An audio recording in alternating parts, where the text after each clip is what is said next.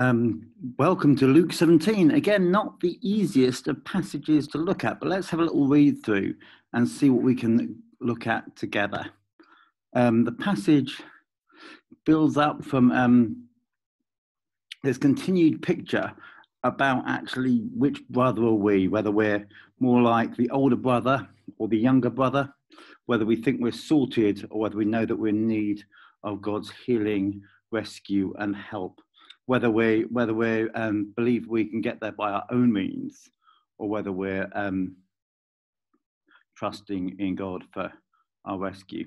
Um, and the passage we had looked at yesterday um, ended with um, the idea of um, Lazarus, the poor man that was known by God, who was a beggar and yet went to heaven, and the rich man who seemed to have everything but actually ended up in hell the challenge of, of, of, what are we living for?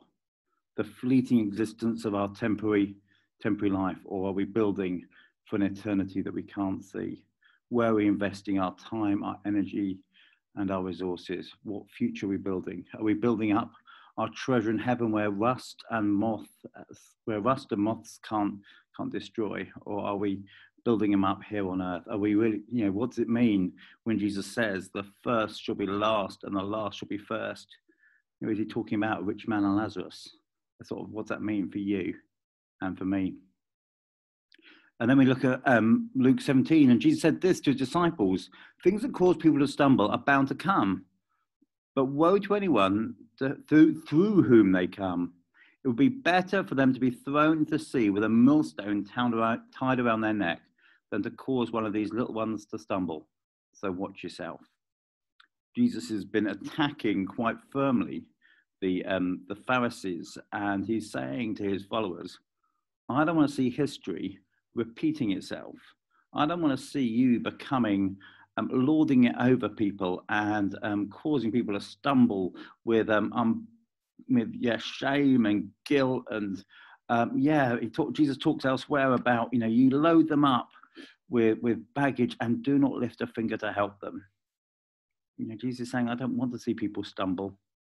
Actually, if you cause people to stumble, it'd be better for you to jump in the sea with a millstone tied on your neck. Yeah, it's a pretty harsh words. So watch yourselves. Jesus then says this If your brother or sister sins against you, rebuke them. And if they repent, forgive them even if they sin against you seven times in a day and seven times come back saying, I repent, even then you must forgive them. You know, sometimes we get very much like, I'm not going to do it anymore. I'm, I'm done with forgiving.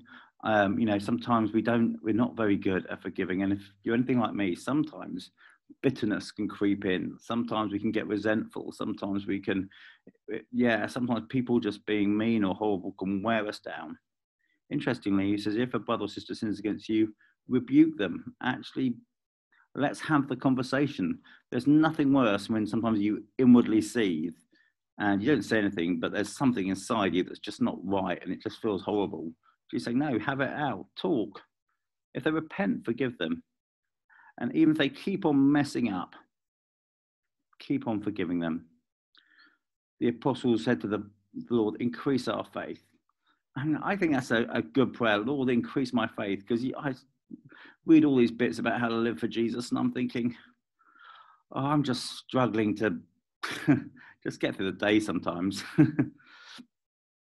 sometimes I, I, you know, um, somebody uses the word rubbish Christian, which is a really bad phrase. Actually, I don't think that's true, because um, actually all of us are. It's not. It's not about what we do. It's about what Jesus has done but a great prayer increase our faith. Help us help us get through it. Help us to be more fruitful. Help us to be more like you jesus. And jesus replied if you have faith as small as a mustard seed you can say to this mulberry tree be uprooted and planted in the tree in the sea and it will obey you actually our faith even though we can be feel fragile even though we can feel broken even though we can feel fallible yeah, god working through us can do amazing things. The Bible says God can do immeasurably more than we can ask or imagine. That's Ephesians um, 3.20. Even as small as a mustard seed can change, can change stuff. So, you know, actually sometimes we can feel daunted. We can feel like, a, you know, God can't possibly use me. But the truth is God can. And God does. And even if we have a, a small faith side of the mustard seed, God can still use that. You don't have to be salted and perfect toothed and gleaming and shiny and hovering above the floor for God to use you. He uses ordinary people like you and me, ordinary broken people like you and me. Jesus then uses a picture of servants, um, and it's basically saying, you know, kind of um, that servants don't get extra for serving because um, that's what's expected of them. And almost this sort of Jesus is almost attacking a sort of culture of entitlement. I'm entitled to be um, important, get status. In, the, the, entitlement really ties in back with the rich man's attitude towards Lazarus. He felt entitled. I think sometimes when we feel entitled as Christians, that's a very dangerous place to be. And the thing with entitlement is it just creeps in very subtly and can cause all sorts of damage. As we think about entitlement, we, it, it gets challenged by the next passage. Now, on his way to Jerusalem, Jesus traveled along the border between Samaria and Galilee. As he was going to a village, ten men who had leprosy met him. They stood at the distance and called out, Jesus, Master, have pity on us. Jesus went to them and said, Go show yourselves to the priest. And they went and they were cleansed. One of them, when he saw was healed, came back, praising God in a loud voice, and threw himself at Jesus' feet and thanked him. And he was a Samaritan. Again, this story of, um, of the people that should get it don't, and the people that don't get it, the people who, who probably feel like they're written off, are the ones that are always included. Interestingly, this guy had probably had no bargaining chips. He couldn't say, Well, I'm a good Jew, because he wasn't. He was a Samaritan. I'm a this, I'm a that. I'm just a, I'm just a man who's really sick with a horrible disease. And I just said to Jesus, Jesus, Master, have pity on me. Or as other translation says, Jesus, have mercy on me. Just come to God and say, God, have mercy on me, help me. God, I need you. Sometimes is all we need to ask. Jesus said, We're not all ten lepers cleansed. Where are the other nine? And then he says, Get rise and go, and your faith has made you well. But I think when I think of this story, one of the things I think of is, is about my attitude of gratitude. I realize that so often I take what God does for me for granted. I don't remember or treasure or, or, or hold on to God's faithfulness enough. And sometimes I need to remind myself that God has been faithful, that God, despite all the bits that haven't worked out right and the bits I'm sad about and the bits that are painful, that God has been good and God is good. And I need to say thank you at times.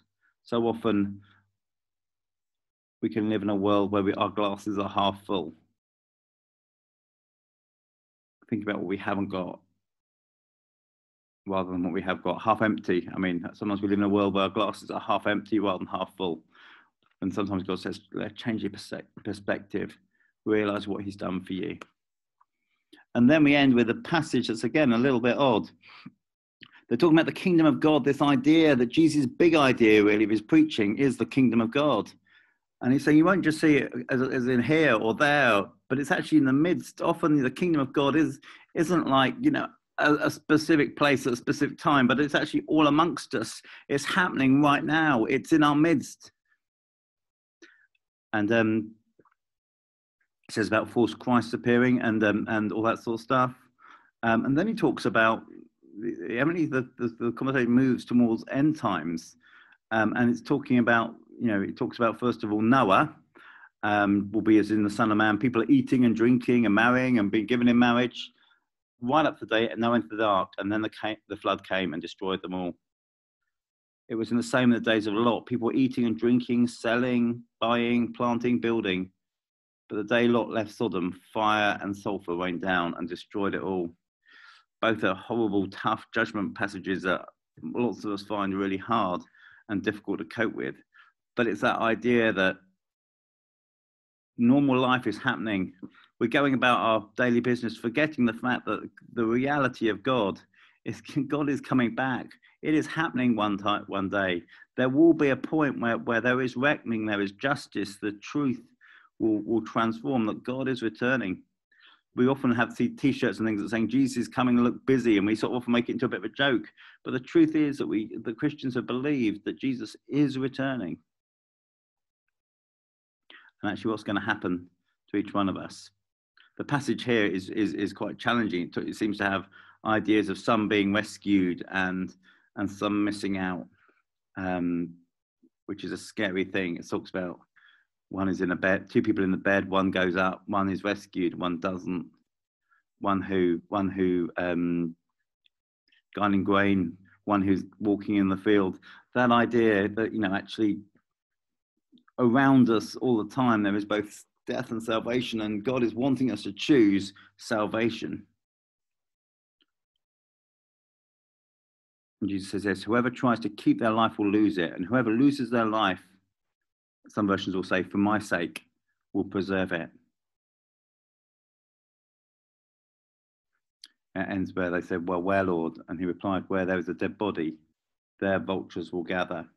That actually we need to be looking out for the signs of the times, seeing what God's doing and saying, God, have mercy work through me. I'm, I can't claim to be sorted. I can't claim to have all the answers. I don't want to cause anyone else to start to fall, but I'm going to try and follow you faithfully. I'm going to realize that you are coming back and I want to be ready. I want to be alert. I want to be in the right place at the right time, doing the right things. I want to live my life your way. I want to do it how you want me to do my life. So there we have. Luke 17.